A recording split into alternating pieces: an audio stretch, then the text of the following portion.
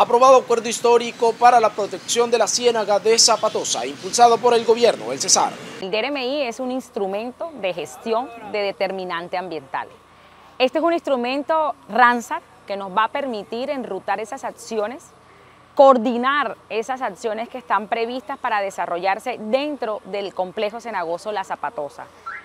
Es una tarea que nos coloca hoy conjuntamente con los actores involucrados, los dos consejos, tanto Corpo Cesar como el Consejo de Corpamat, quien se dieron hoy sesionar desde el municipio de Chimichagua, desde el territorio, para poder debatir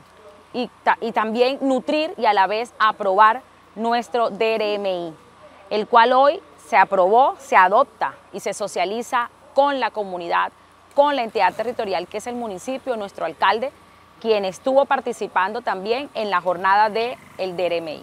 Hoy la ruta a seguir está clara, es saber qué acciones podemos y qué actividades podemos desarrollar dentro de nuestro complejo cenagoso, articular los esfuerzos. Prácticamente son dos departamentos hermanos que convergen muchos municipios. Tenemos municipios del centro del Cesar y municipios del Banco del Departamento del Magdalena, quienes tienen que trabajar unidos en cumplimiento de esos planes de desarrollo junto con las dos corporaciones como autoridades para poder claramente forjar y planificar y aumentar y robustecer esos presupuestos que tienden a